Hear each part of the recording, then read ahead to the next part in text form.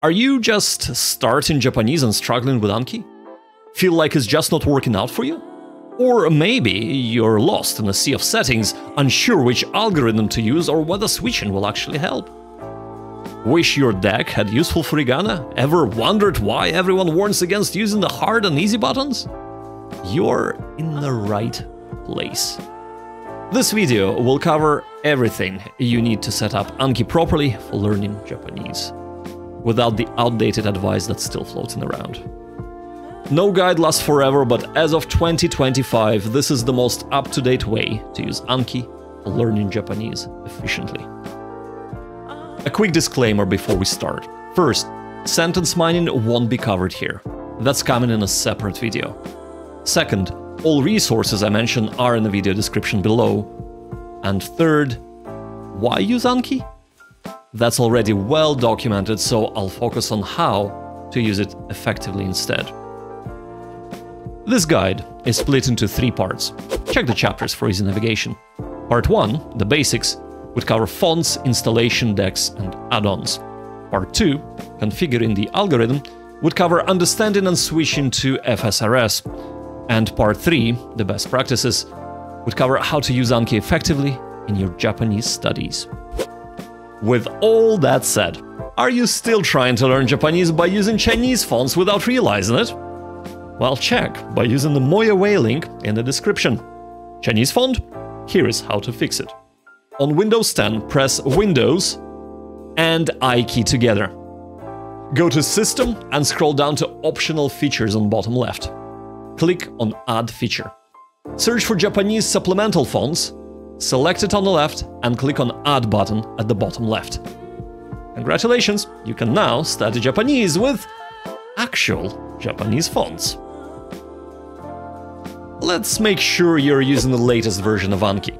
And yes, you definitely want to. Start your desktop Anki app, go to Help on the upper left and click on About. Check your version. A format is year, month. Latest as of March 2025, is version 25.02. If yours is older, download the latest version using the link in the description. If you are a beginner, I highly recommend the Kaishi 1.5k deck. It includes words and sentences, images and native audio, and pitch accent notation. Download it from the description, then double click the file to add it to Anki. To change the Kaishi 1.5k default deck to Furigana style, do the following. Import the Kaishi deck if you haven't already. Download the Kaishi Furigana file from the description below. It only has one card that you can delete after transferring the latest Kaishi 1.5k deck to Furigana card type.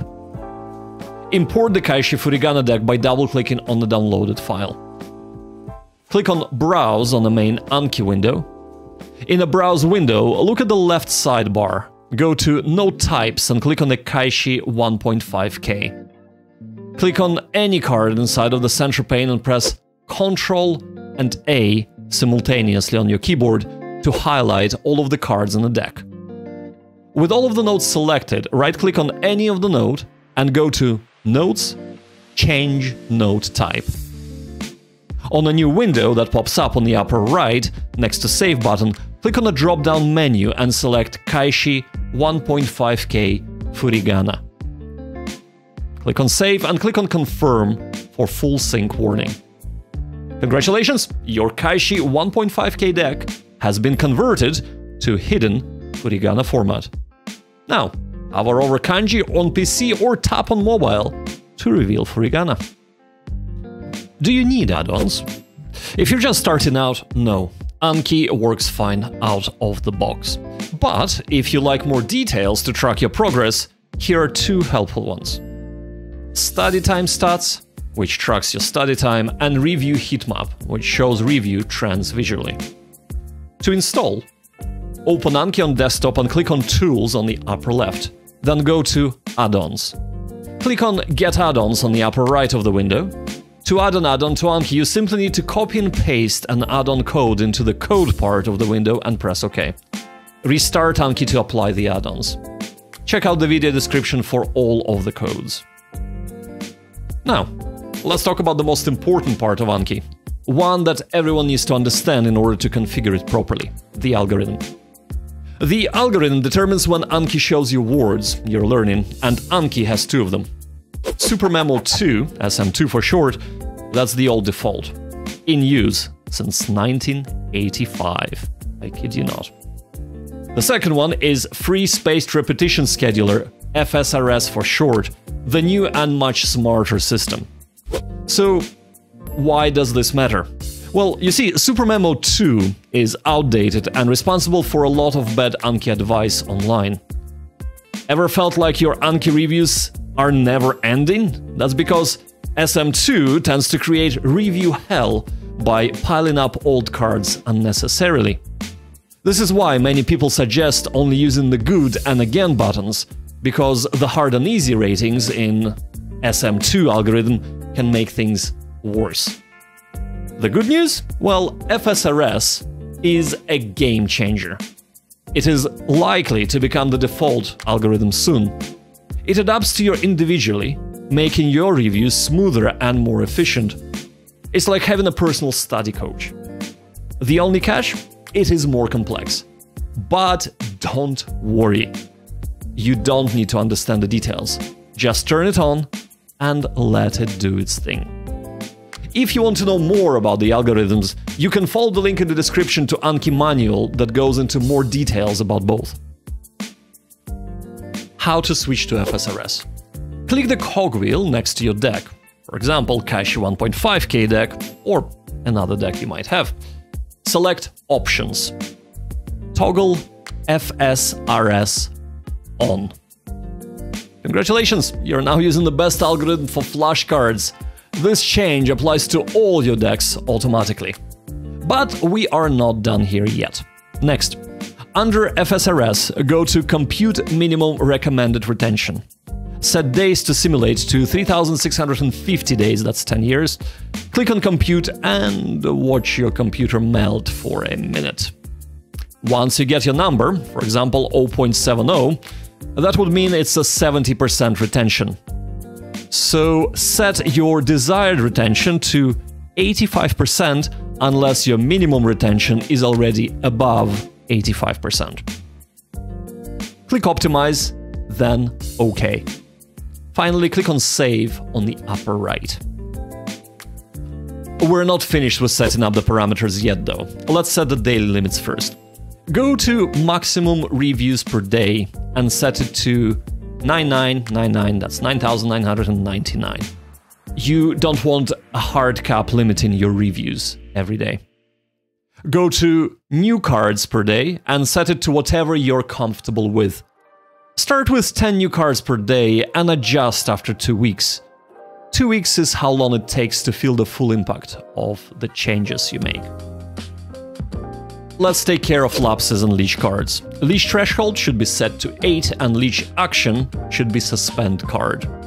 If you fail a card 8 times after it moves into long-term review, that's 1 plus months intervals, it gets tagged as a leech and is suspended. Hold up, but what if I really want to learn that word? I used to think exactly the same. I had words appearing every day in my reviews.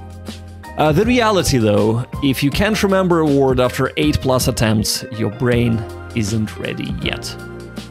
Instead of grinding endlessly, suspend it and check back in 3 to 6 months. Many leeches become much easier to learn later. Remember, learning a language is a marathon, not a sprint. Next, let's optimize review order. Under display order, set new slash review order to show after reviews. This ensures you always complete your reviews before adding new cards. Set intraday learning review order to show before reviews.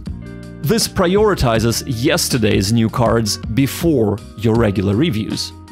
Finally, set review sort order to descending retrievability.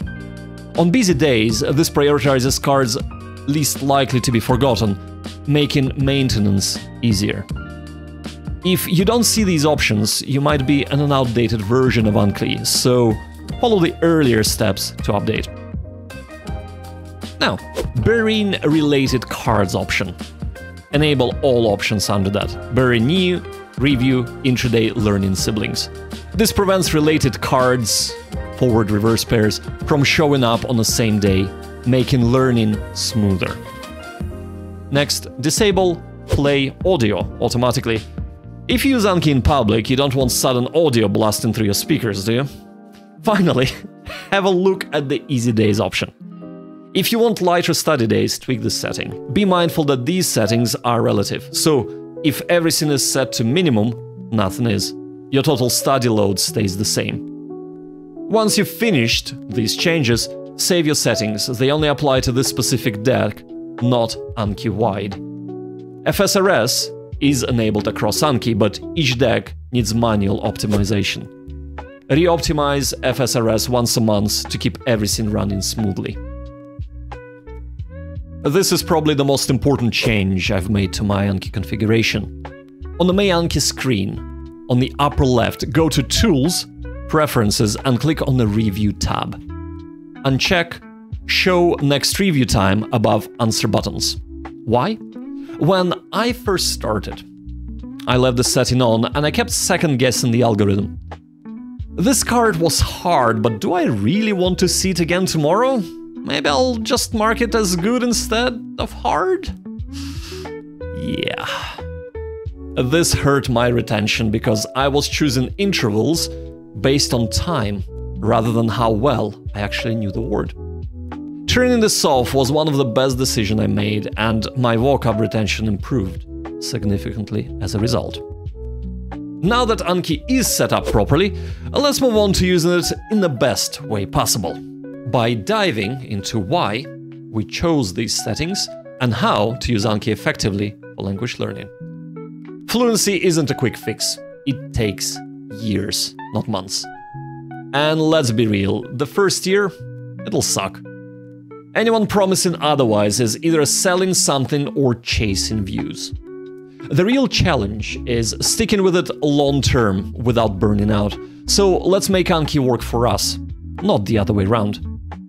Let's make effortless your mantra. With that in mind. Anki is like training wheels. It helps, but you won't get fluent without the real practice. No app, no workbook will do it, only daily immersion will. We use Anki to memorize vocabulary as effectively and efficiently as possible with our limited time. The less time we spend on Anki, the more we can immerse. That's why we're using the latest algorithm designed to adapt to you and cut down on long term reviews that's why 85% retention trumps 90% retention. Lower retention means fewer reviews, which equals more immersion time, something we definitely want. And that is why we optimize settings in the way we did, so that the reviews that are the most necessary appear first. But we also need to make sure we're using Anki correctly. So here's how I study the Kaishi 1.5k deck. Try reading the sentence and understanding the kanji. For kanji you can't read, hover over to reveal the furigana. Go to the back of the card, play the word and sentence audio and shadow both. Rate yourself based only on how well you understand the target word. It makes it easier when you're just starting out, while still using your active recall by trying to read kanji on the front of the card. Try not to spend more than 20 seconds per card. There are four rating buttons. Use them all. Again, if you couldn't recall the meaning of the word, Hard, if you got the meaning but it was difficult and took time. Good, if you got the meaning correct. And easy, if you got both the meaning and reading correct and it felt too easy. Most importantly, don't use hard as a softer version of again. Hard means you got the meaning right. Not maybe you got it right, not almost you got it right. You got it right, but you struggled with the recall. Anything else, you should use again instead. If you misused hard, you will accumulate a lot of words you don't know with too long of an interval before it's served to you again, leading to eventual increase in workload. Talking of, remember we set desired retention to 85%? So for every 100 reviews, we aim to forget 10 to 20 words. That is what we're aiming for. That is the target we set, and that is our goal. If you expect to get everything right and get disappointed every time you're wrong, you'll burn out fast. Aim for 10 to 20 wrong answers per 100 reviews, and you'll feel good hitting your targets. Perpetual dopamine rush with every success. Hell yeah. That's it. That's all the secret sauce I have for you. Got any Anki tips yourself? Share them in the comments. Above all else, remember, Anki is a crutch. Immersion is the road. Walk both, and you'll get there. Want to know how I'd study Japanese if I was starting over after a year? Watch this next. それじゃ、またね。バイバイ。